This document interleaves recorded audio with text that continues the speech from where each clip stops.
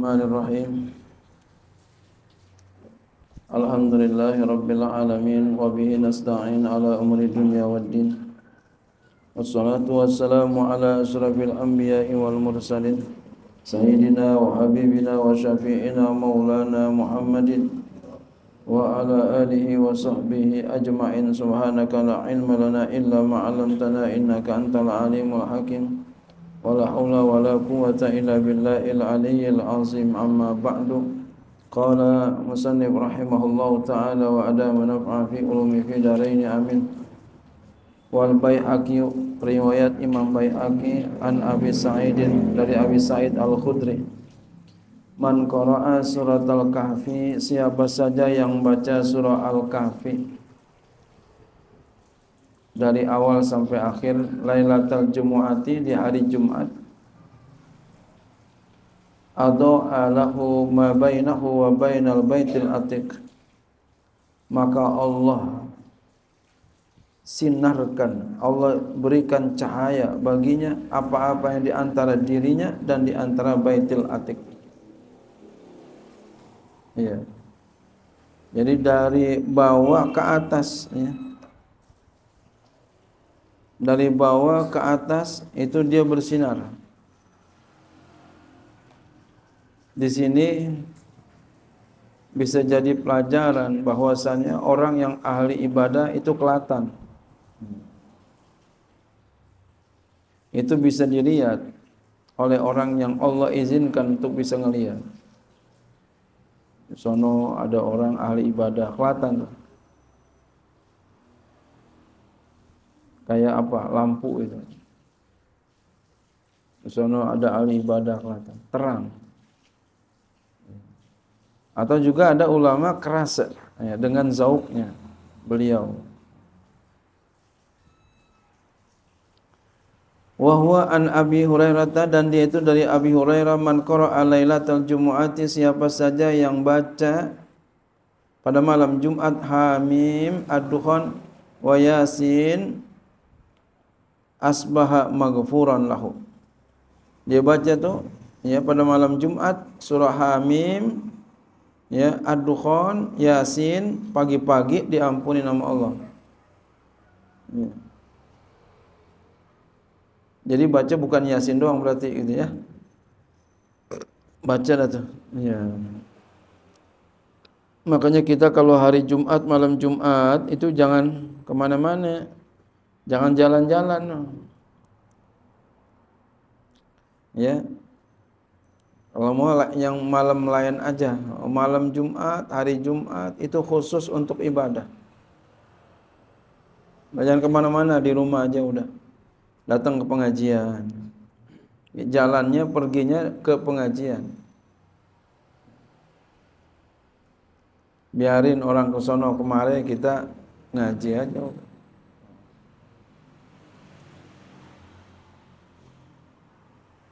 Wa ibnu Zanjawai an Wahb bin Munabbihin. Qala man qara'a lailatal jumu'ati salatal baqarati wa ali imran kana lahu nuran ma bainal ghariban wa ajiban.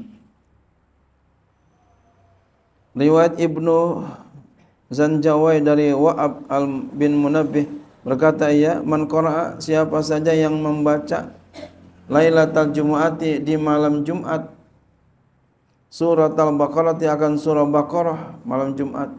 Wa Ali Imran dan dibaca lagi Ali Imran.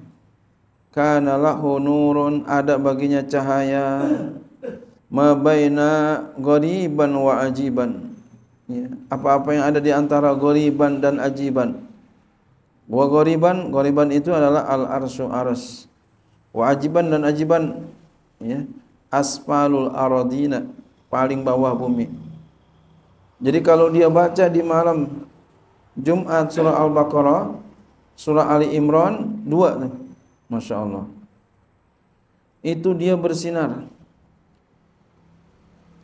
Dari aras sampai paling bawah bumi. Masya Allah. Jadi kelihatan di sana ada ahli ibadah. Mana tuh? Kelihatan. Begaleng itu. Kayak tiang. Jadi kayak tiang itu di atas Masya Allah. Itu amal ibadah sipulan. Hmm, Masya Allah. Jadi orang bersinar bukan hanya di mukanya aja sampai keluar dari mukanya.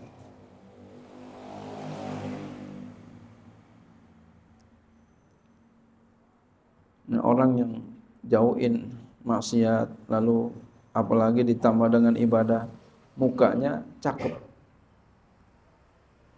Bersinar walaupun kulit warnanya warna kulitnya enggak putih. Lihat para asatis para kiai. Warna kulitnya enggak putih tapi dilihatnya enak aja adem enak dilihat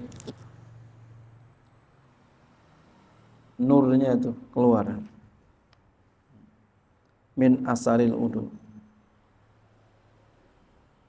Makanya kita Bapak Ibu hadirin jangan lupa udu habis dari kamar mandi. Apalagi mau tidur walaupun tidur siang. Jangan takut kagak bisa tidur karena dingin. Insya Allah bisa tidur. Jadi jangan sampai lupa kalau tidur pakai udu. Biasain. Mau ke mana-mana pun biasain berudu mau pergi kantor udu, pergi sekolah udu, pergi pasar udu, pergi kuliah udu, jangan sampai enggak. Mau ke rumah saudara udu, silaturahim ke rumah saudara udu, udu. Habis mandi dari kamar mandi udu. Ya. Habis pipis dari kamar mandi udu. Apalagi mampir ke musola ke masjid jangan kencing doang wudhu kayaknya kalau mampir ke masjid mampir ke musola kencing doang kayak kencingin musola kencingin masjid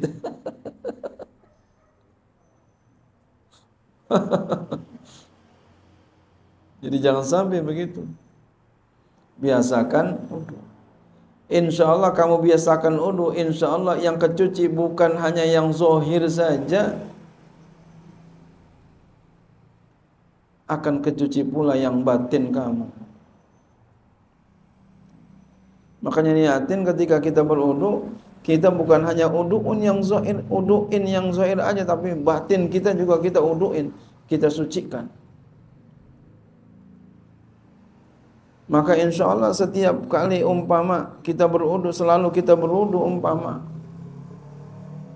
Ya, setiap kali waktu, setiap kali kesempatan kita berudu, insya Allah tangan kita kalau berbuat berbuat yang suci. Kaki kita kalau berbuat melangkah melangkah yang suci. Muka yang ada di muka semua insya Allah kalau ingin berbuat berbuat yang suci. Telinga kita berbuat yang suci. Enggak nulis-nulis yang bukan-bukan. Enggak nulis-nulis yang jelek-jelek. Enggak nulis-nulis yang purno-purno dijaga sama Allah.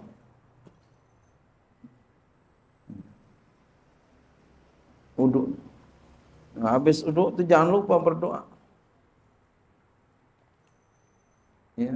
Allahumma ja'alni minat tawwabin wa ja'alni minal mutatahhirin itu. Jangan sampai doa itu. Kan cakep banget doanya, Masya Allah. Jangan sampai doa. Dan dihayatin doanya. Dimaknakan di dimengertikan. Masya Allah, Masya Allah. Indah sekali. Indah sekali. Ya. Jangan malas berudu. Habis dari habis dari kamar mandi dah. Ya, sekurang-kurangnya itu habis dari kamar mandi Kecuali badan kita lagi kurang sehat.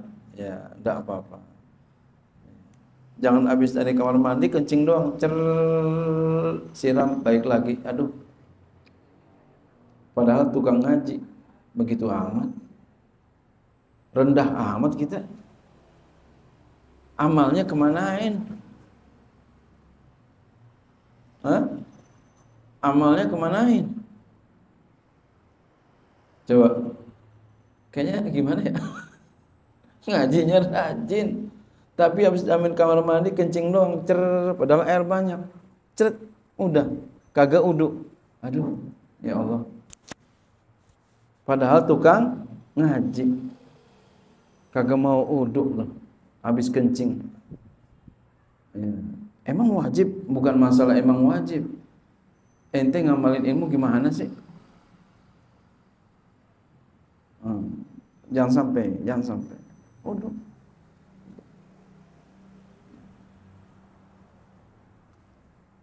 Jadi orang yang senantiasa wudu, selalu wudu, itu mukanya enak dilihatnya.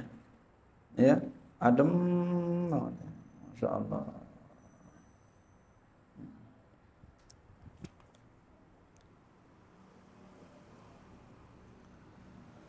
Wa ibnu Murduwai dan riwayat Ibnu Murduwai an Aisyah dari Aisyah radhiyallahu anha ala ketahuilah ukhbirukum.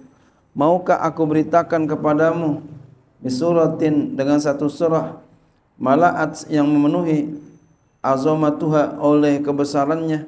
Ma baina samai wal ardi akan apa-apa yang di antara langit dan bumi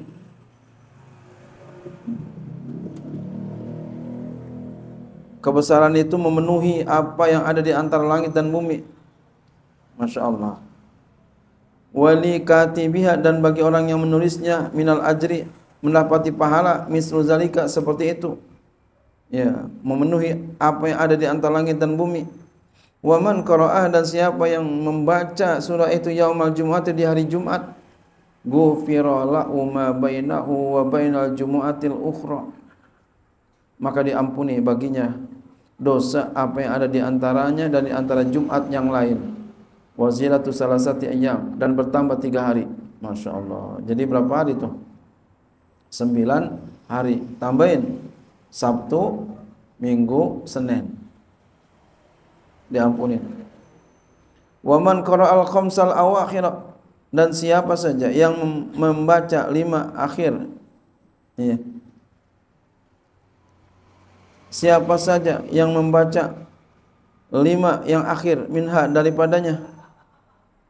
Ya. Inda naumi ketika tidurnya. Nah, ntar dibilangin surahnya. Ba'asahullahu Allah bangkitkan dia. Ay lailatas ay ay lail al-laila sya'a. Artinya malam itu yang ia kehendaki. Ayyal laili gitu ya. Ayyal laili sya'a mana-mana malam yang dikehendaki ya Allah bangunkan aku jam 3 bangun. Bangunkan aku jam 2 bangun. Gitu apa? Wa wahya suratu ashabil kahfi. Surah ashabil kahfi. Surah kahfi. Jadi kalau kita baca tuh hari Jumat ya kita baca surah kahfi malam Jumat kita baca diampunin dosa kita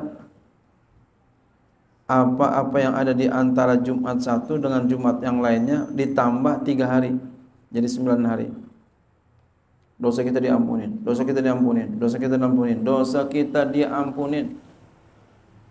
Belum berbuat dosa udah diampunin, masya Allah. Kurang apa istimewanya?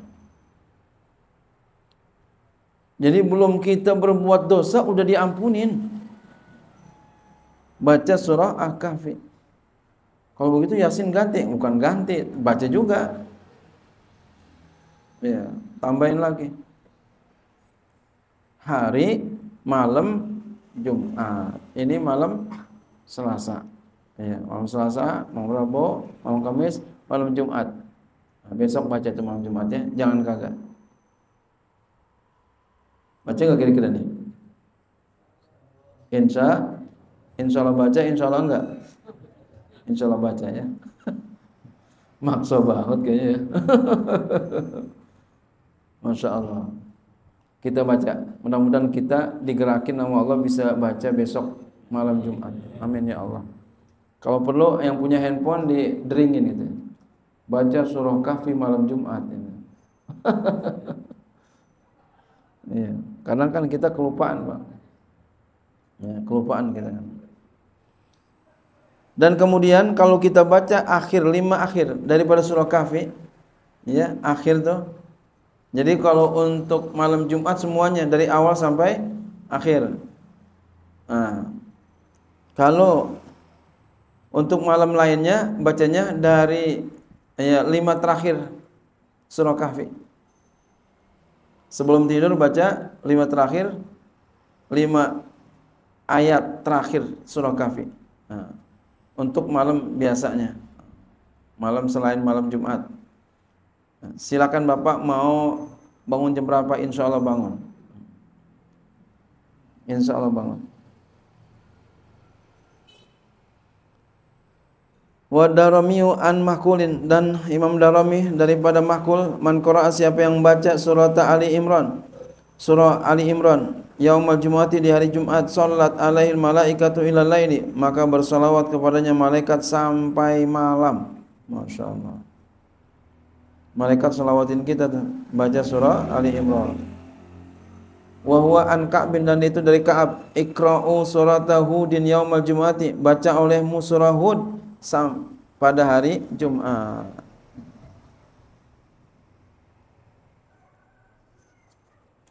Wa Tabrani dan Imam Tabrani an Abi Umamah dari Abi Umamah man qara'a Hamim ad-Dukhan siapa yang membaca surah Hamim ad-Dukhan fi lailati Jum'atin pada malam Jumat atau yaumi Jum'atin atau hari Jumat banallahu lahu baitan fil jannati. Allah bangunkan untuknya rumah di surga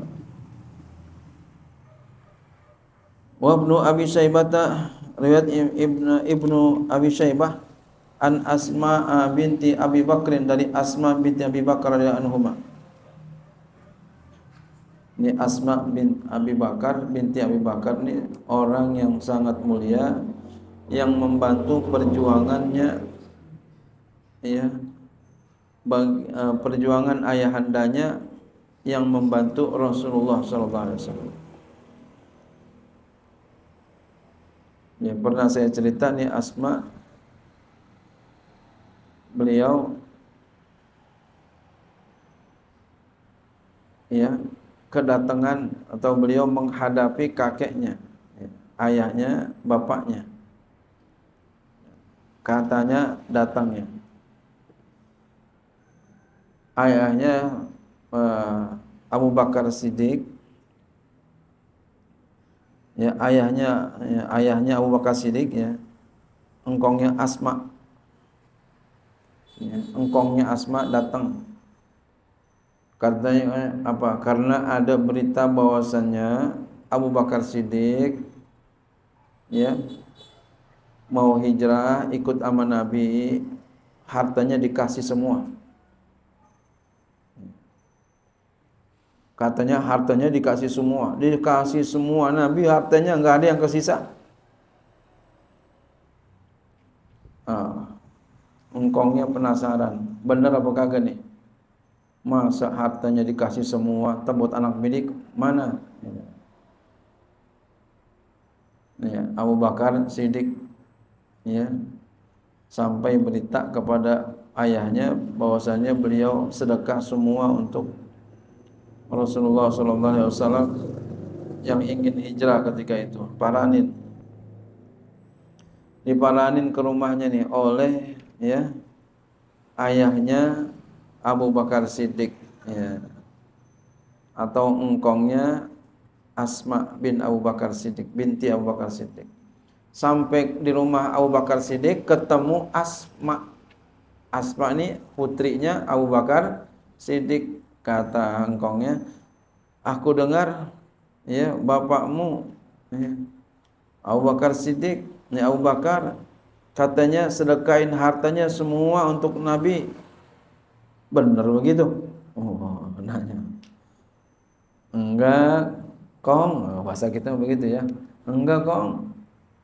Nih kong mau lihat. Nih duit bapak masih ada. Ya ya diajak ke tempat naro duit Abu Bakar Siddiq ya ini rupanya engkongnya matanya ya udah kurang awas, kurang awas, udah tua, ya. Itu ya ditutupin ini ditutupin uh, uangnya lalu dirabah sama engkongnya. Padahal ya itu sama Asma ditaruhin batu. Biar dikira itu batu adalah duit. Lalu diraba oleh engkongnya Asma, babanya Abu Bakar Siddiq. Nah, diraba ah, dikira itu duit. Ah benar. Benar. Ya, Abu Bakar enggak sedekahin semua, ternyata Abu Bakar orang yang bijaksana. Subhanallah. Jadi memang kadang kalau kita sedekah itu ada keluarga yang kurang setuju. Sedekah banyak. Ada keluarga yang kurang setuju. Iya. Ada juga cerita kisah, Pak. Ada orang pengen sedekah. Eh, ada seseorang pengen sedekah. Dia pengen sedekah 5 juta.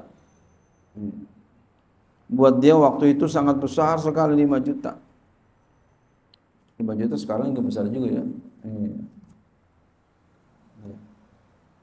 Dia sedekah 5 juta. Sedekah pribadi, sedekah sama orang. Bukan sedekah sama masjid. Sedekah sama masjid mah gampang. Ya, sedekah sama pesantren 5 juta gampang. Ya, susah juga buat orang yang susah gitu ya. Ini buat umumnya orang kaya itu gampang 5 juta sedekah sama masjid sama musola pesantren gampang. Tapi kalau sama pribadi orang itu lebih susah.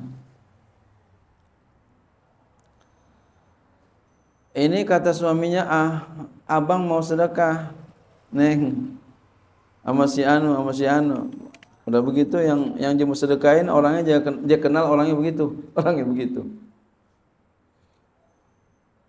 Istrinya kurang setuju tapi suaminya bersikeras untuk sedekah juga. Suaminya bersikeras untuk sedekah juga. Nih, saya pengen buktikan kalau sedekah itu benar-benar tapi ikhlas. Bukan karena yang lain, Pak. Ikhlas karena Allah. Itu, itu ikhlas karena Allah tuh kita yang tahu sendiri. Dan niat yang benar yang pertama.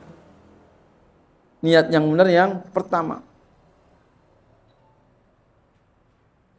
Kata istrinya, kalau ya Neng larang, gimana abang?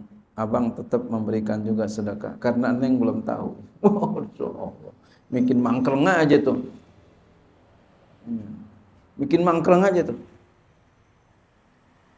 Masya Allah. Dia pengen sedekah hari Minggu. Kemudian Allah kasih terus dia udah pengen sedekah walaupun istri nggak kasih dia tetap sedekah mau sedekah. Kemudian apa yang terjadi? Tiba-tiba orang itu didatengin orang mau sedekah pribadi juga buat orang itu sebesar apa yang dia sedekahkan. Orang itu pengen sedekah 5 juta. Datang orang lain ke rumahnya, datang ke rumahnya untuk sedekah 5 juta. Masya Allah. Belum sedekah udah diganti. Sedekah pribadi untuk orang itu. Lalu suaminya bilang, Neng, abang dikasih duit sama orang Neng. Kira-kira bagaimana sekarang? Boleh nggak sedekah? Boleh bang, katanya. Masya Allah. Jadi kalau kita sedekah ikhlas karena Allah, Pak, bukan karena karena yang lain, bukan. Bukan karena bapak, bukan karena ibu, bukan karena anak, bukan karena ini, karena bukan. Karena Allah semata. Allah ganti. Niat yang benar yang pertama. Niat yang benar, niat yang pertama. Karena ada kadang kita niat pertama kemudian kita rubah gitu ya niat yang benar itu niat pertama. Makanya lurusin niat kita jangan berubah. Yang bagus. Nah, langsung tuh belum disedekah udah diganti. Nah dari sebab itu tuh itu orang selalu sedekahnya besar-besar lebih daripada itu. Karena apa? Setelah itu istrinya baru dikasih paham hidayah. Istrinya udah udah pasrah aja udah Suaminya sedekah sekian juta, sekian juta, udah biasa aja. Boleh bang, silakan. Boleh bang, silakan. Subhanallah. Ya. Suaminya sedekah 10 juta. Itu orang ada kayak begitu. Suaminya biasa, istrinya biasa aja. Puluhan juta, bisa istrinya biasa aja. Lantaran tadi itu. Subhanallah.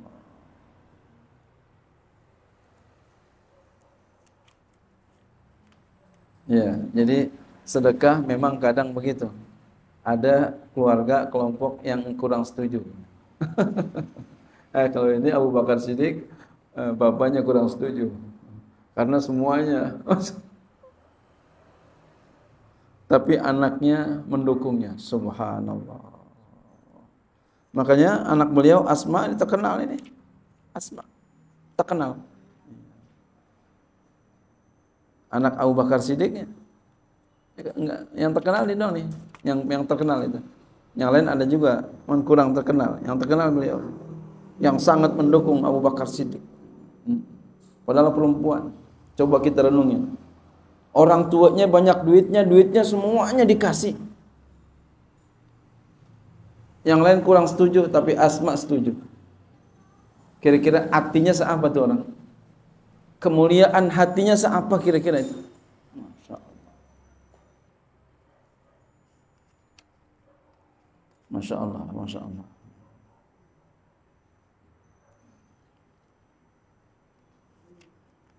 Ya, kita kalau dengar cerita sahabat takjub kita.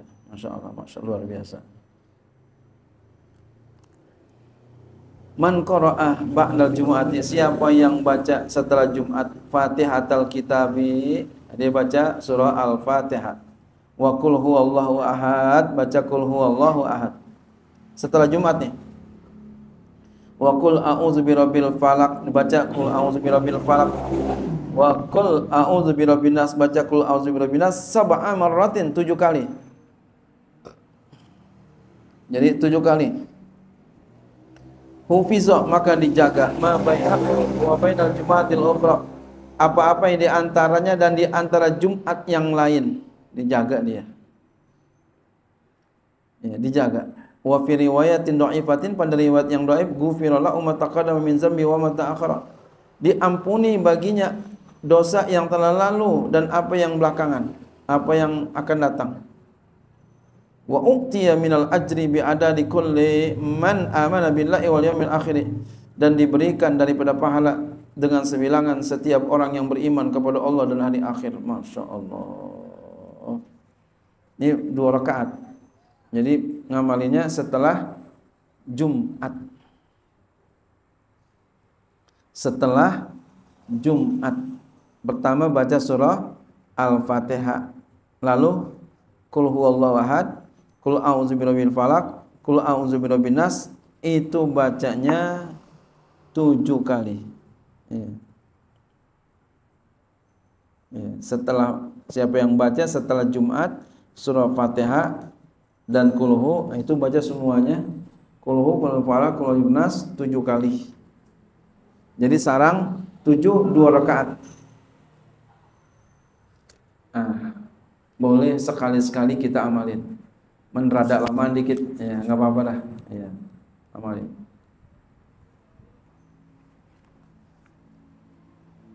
Iya. Ini uh, maaf ya. Ini man qara'a ba'da Jumati setelah Jumat. Ini bukan salatnya ya. Ba'da Jumati ya. Eh, bentar. Siapa yang membaca setelah Jumat ya, setelah Jumat Fatihah kitab dan kuhulahat kuhulahat kuhulahat tujuh kali.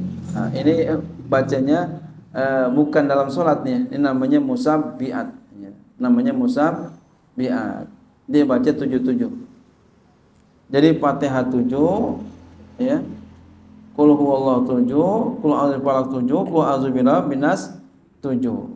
Ya. Jadi bacanya uh, bukan dalam sholat ya.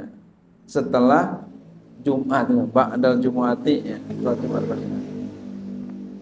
ini biasa kita baca nih. Ya, biasa kita baca Tapi kalau di masjid-masjid uh, yang baru, yang biasanya nggak baca. Yang biasa yang baca di masjid-masjid kampung baca. Di masjid-masjid kampung bacanya. Jadi kita ya kalau kita ikutin aja di situ. Kalau di situ baca ya baca. Kalau dia nggak baca ya ya udah jangan ikut nanti jadi gimana gitu ya. Masya Allah. Jadi pahalanya besar sekali. Namanya disebut musabbiat. Wallahu a'lam wa benar sini anak